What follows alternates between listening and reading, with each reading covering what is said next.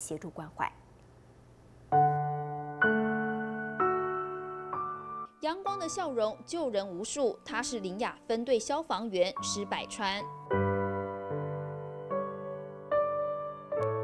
每张照片都记录着他热爱工作的情况，只是两年前被验出鼻咽癌第四期，敌不过病魔，永远离开了。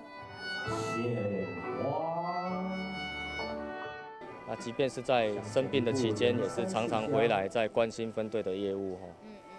啊，即便到最后一刻，还是心系着整个分队。作战的队友陪他走完最后一程，但放不下的是他最爱的家人。放不心不下的就是爸爸妈妈还有孩子。对，那这个部分就是未来我要为他去完成的。孩子的学业要照顾，爸爸妈妈要照顾。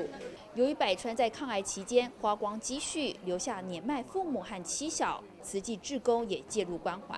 啊，因为他本身经济状况不是非常的富裕，那还有爸爸妈妈，那所以我们就呃提报了这个个案，那也将个案呢开案发案到社区。